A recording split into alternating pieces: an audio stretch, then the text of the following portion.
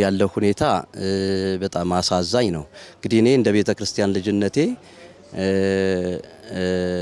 እድሜ ትንሽ ቢሆን ያየሁት ነገር ብዙ ባይኖር የቤተ ክርስቲያንን ታሪክ አንብቤ ያለሁ የኢትዮጵያ ኦርቶዶክስ ተዋሕዶ ቤተ ክርስቲያንን ታሪክ ማለት ነው እና ካነበብኩት ውስጥ አላገኘሁም። አይደለም ካየሁት ውስጥ እንደዚህ ያለ አሳፋሪ ቤተ ክርስቲያንን የሚጋፋ የራሷ ልጆች ሆነው ሳለ ቤተ ክርስቲያንን በዚህ መንገድ ተጋፊዎች ሆነው መገኘታቸው እጅግ በጣም ያሳዝነኛል። በተለይ ጉራጌ ሀገረ ስብከት አካባቢ መነሻቸው የሆነ ሁለት አባቶች ከተሳሳቱት መካከል ናቸው።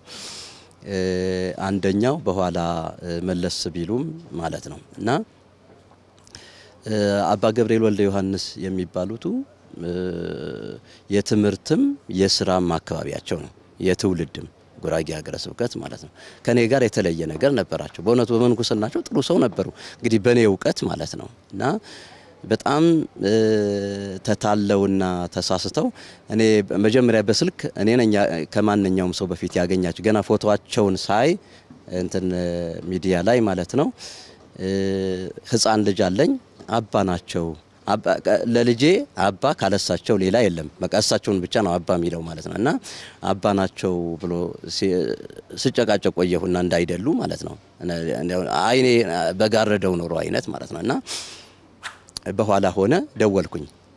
እና አነሱት ወዲያውኑ በአንድ ጥሪ ማለት ነው። እና ደንግጬ ዘጋሁት ስልኩን ማለት ነው። መልሰው ደወሉ እሳቸው። እየሆነ ያለው ነገር ምንድን ነው አባ? አልኩኝ። በቃ የሰማኸው ነገር ነው የሆነው ብለው አሉ እና እጅግ በጣም አዘንኩኝ። እንግዲህ የምለውን አልኩ ተንተባትቤ ያለው ትክክለኛ ያሰብኩትን ነገር የተናገርኩ አይመስለኝም። እጅግ በጣም የሚያሳፍርና የሚያስደነግጥ ነገር ነው የሆነው ማለት ነው እና እጅግ በጣም አዝነናል። ምክንያቱም የቤተ ጉራጌ ምእመን መንፈሳዊ ነው በጣም ሲበዛ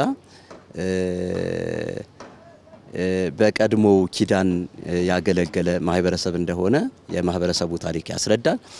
በአዲስ ኪዳንም አገልግሎት ጉራጌ ሀገረ ስብከት ላይ ሳይሆን ጉራጌ በደረሰበት ሁሉ ቤተ ክርስቲያን ሰሪ፣ ካህን አክባሪ፣ ሃይማኖቱን ወዳድ ነው እና እንደዚህ አይነት ነገር ሆነ ሲባል ጥያቄው አስቸገረ። እኛ መደበቅ ነው የያዝ ነው። ነገር ግን በ14 ጥር 14 የሆነ ተባለ።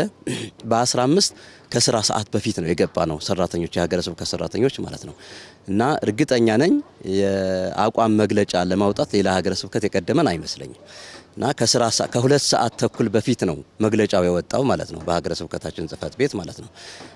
ምእመናንን ለማረጋጋት ነው ይሰማ የነበረው ወደ ስልካችን ይመጣ የነበረው ነገር እጅግ በጣም ያስፈራ ስለነበረ አይዟችሁን እንደማለት ምእመናኑና ካህናቱን ማለት ነው። ከስራ ሰዓት በፊት ነው መግለጫውን ያወጣ ነው በማግስቱ በ15 ማለት ነው እና ከዚያ በኋላ የማበረታታት ስራ ነው የተሰራው። መንግስትን በየደረጃው ያለው በቀበሌ፣ በወረዳ፣ በዞን ደረጃ ያለው በሀገረ ስብከታችን ደረጃ የመንግስት አካላትን በየደረጃው ለማግኘትና ለማነጋገር ጥረት አድርገናል። የክርስቲያን ሀገር ነው።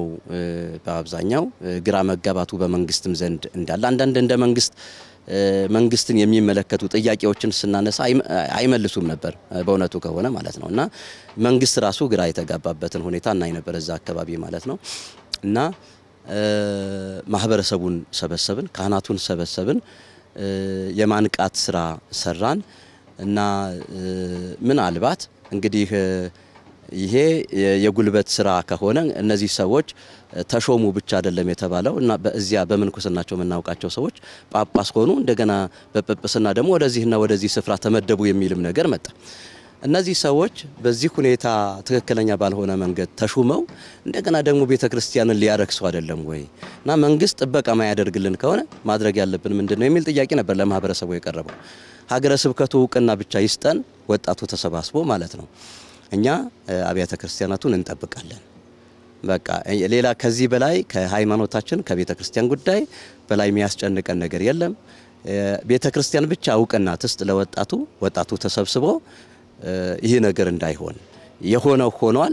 ቀጥሎ ሊሆን የታሰበው ነገር እንዳይሆን ይሄ ማለት እነዚህ ሰዎች ወደ ተመደብንበት ቦታ እንመጣለን የሚለው ሀሳብ እንዳያደርጉ ማለት ነው። እውቅና ሰጠን ማለት ነው። እኛ ወጣቱን አደራጅተን በየቦታው እውቅና ሰጠን። ከዚያ በኋላ እዚህ border ላይ ነው ሀሮ ባለ እግዚአብሔር ቤተ ክርስቲያን ይሄ ጉዳይ ተፈጸመ የተባለበት የኦሮሚያ ክልል ነው። ለእኛ ድንበር ነው። እዚያው ጎረቤት ደብር ጥያ ማርያም የምትባል የኛ አለች እና ጎረቤት ደብር ነው ይሄኛው ደግሞ ማለት ነው። እና ወደዚያው ስፍራ ተጠርተው ከቡታጅራ የሄዱ ሰራተኞች ነበሩ፣ የቤተ ክርስቲያን ልጆች ማለት ነው። እነሱን ሁሉ ከስራ እንዲታገዱ ነው የተደረገው ማለት ነው። ቆራጥ እርምጃ ነው የተወሰደው በሀገረ ስብከቱ ደረጃ እና ምእመናን ከዚህ ከመንበረ ፓትርያርክ ጠቅላይ ጽሕፈት ቤት ጀምሮ የቤተ ክርስቲያኗ አቋም እጅግ ደስ እንዳላቸው በሀገረ ስብከታቸውም ደረጃ እንደው መላላትና ሰዎቹ የአካባቢ ሰዎች እንደመሆናቸው መጠን ሰው በየቡድኑ ተቧድኖ ሌላ ችግር ሊፈጠር እንደሚችል ያስቡ ነበረና ቆራጥ እርምጃ በመወሰዱ እጅግ በጣም ደስተኛ ነው ወጣቱ ማለት ነው። ከዚህ ጋር ተያይዞ አስተርዮን በተለይ ሁለት ቦታ ወልቂጤ ደብረ ጽዮን ቅዱስ ማርያምና ቡታጀራ ደብረ ጽዮን ቅዱስ ማርያም ላይ የቅዱስ ሲኖዶስን ውሳኔ መደገፍ ነው። የቀኖና ቤተ ክርስቲያን ይከበር ሀሳብ ነው በጥቅሉ ማለት ነው። እኔ ወልቂጤ ደብረ ጽዮን ነበርኩኝ። ብፁዕ አባታችን ይሄ ቅዳሴ ቤተ ክርስቲያኑ ያለበት ቦታ ጋንዲ ማርያም ነበሩ። ቡታጀራ ደብረ ጽዮንም እንደዚሁ ከሀገረ ስብከቱም የተመደቡ ሰዎች ነበሩ እና በተለይ ዋና ዋናዎቹ የጉራጌ ሀገረ ስብከት ከተሞች ወልቂጤና ቡታጀራ እንደመሆናቸው መጠን ሁለቱ ከተሞች ላይ በእውነቱ ይህን ስራ በከፊል ነበር የምናውቀውና የሀገረ ስብከቱ የሰንበት ትምህርት ቤቶች ማደራጃ ዋና ክፍል ኃላፊ መጋቢ ሃይማኖት ብስራትን ሰጠን ለወጣቶቹ። ጽሁፍ ላይ ምናምን ስህተት እንዳይኖር የቤተ ክርስቲያኑ ሀሳብ ያልሆነ ነገር እንዳይንጸባረቅ መድረክ ላይ በሰንበት ትምህርት ቤት ክፍል በኩል ጥረት አድርገናል የማስተካከል ስራ። በተረፈ ግን ደጋፊ ነን።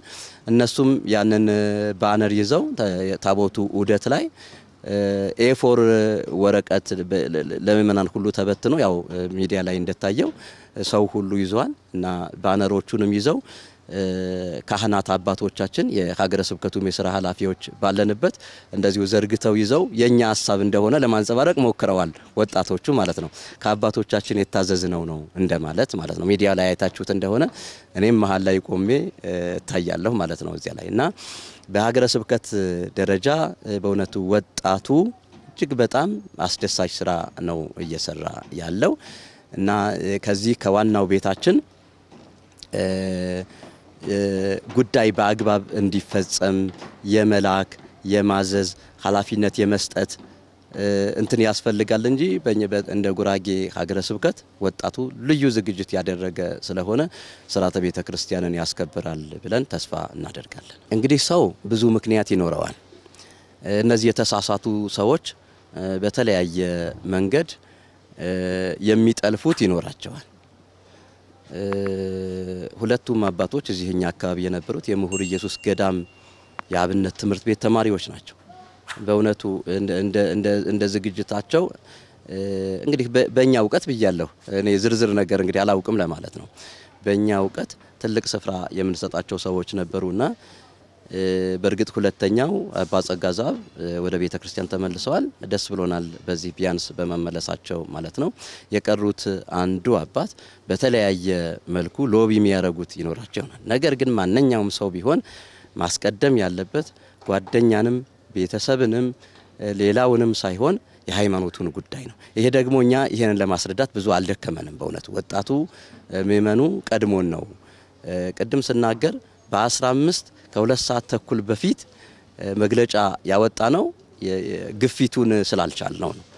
እኛ ብቻ ስለተዘጋጀን አይደለም እና እኛ ስላስረዳንና አቅጣጫ ስላሳየን ብቻ ሳይሆን ዝግጁ ነው እና ከሃይማኖታችን የሚበልጥብን ምንም ነገር የሌለ ስለሆነ ሌሎች ነገሮች ሁሉ ሁለተኛ፣ ሶስተኛ፣ አራተኛ ስለሆኑ ሃይማኖትን በማስቀደም በቤተ ክርስቲያን ላይ የመጣው ፈተና አግባብ በሆነ መንገድ እስኪፈታ ድረስ ቤተ ክርስቲያንን እያዳመጡ ከቅዱስ ሲኖዶስ በመንበረ ፓትርያርክ በኩል በሀገረ ስብከት በኩል በወረዳ ቤተ ክህነቶች በኩል አድርጎ ወደ አጥቢያ የሚመጣውን መመሪያ በማስፈጸም መጠመድ አለበት ማህበረሰቡ ክርስቲያኑ የሚል መልእክት አለኝ።